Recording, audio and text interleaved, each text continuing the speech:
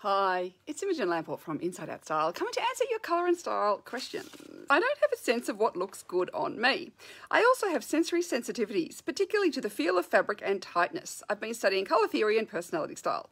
My biggest issues are trying to put all of this together while still having functional, practical, and comfortable style for my lifestyle, which relies on layers and outfits suitable for a casual, outdoorsy lifestyle. Well, one of the great things about your lifestyle is it's not like you need to be wearing particularly formal clothing, which tends to be more constrictive or more woven less stretch. It means that everything you wear can have some stretch or looseness to it, which is going to add that comfort to you.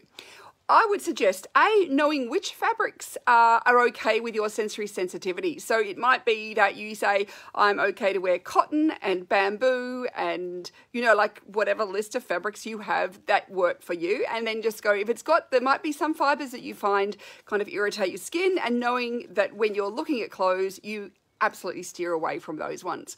Then I would suggest that as you kind of go about your day. At the end of each day, just have a little mental note about how you felt in your outfit. Often we just don't take the time to do this. So have we noticed if we've been tugging on or pulling at our clothes? Have we noticed if something's riding up or swishing around? And that's kind of annoyed us because those things can tell us something about either the style of clothing uh, or that just particular garment. Maybe there's something about that that annoys you that you can go, maybe this thing has to go, it's not working for me. Or maybe I need an alteration or something or other going to make the garment work better for me.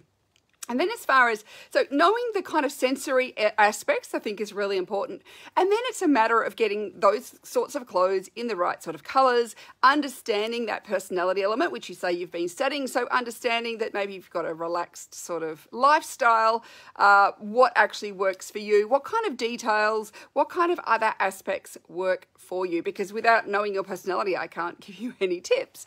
But it is kind of this, it's layering those different elements of style up to figure out what it is that it is working for you and what doesn't work for you. Often, the more we can become a bit more conscious about what doesn't work and what does work, then we can start applying that to our style in a more conscious way that allows you to actually go, well, I like this style and I like my personality likes these details, my color, you know, coloring requires these sorts of colors, and then we can just start to put it together and we can start looking for the pieces that you know will work for you and all your kind of the activities and also your sensory sensitivities. It is a process and don't assume that you will learn style overnight. Style is really quite a complex science. It takes some time, takes some education, um, and it takes some practice. And now you're going to practice every day because you have to get dressed. But if you do that in a little bit more conscious way, and at the end of the day, just notice how you are feeling in those clothes then that can also be really helpful. And of course, taking outfit photos as well, that's going to help you start to hone your eye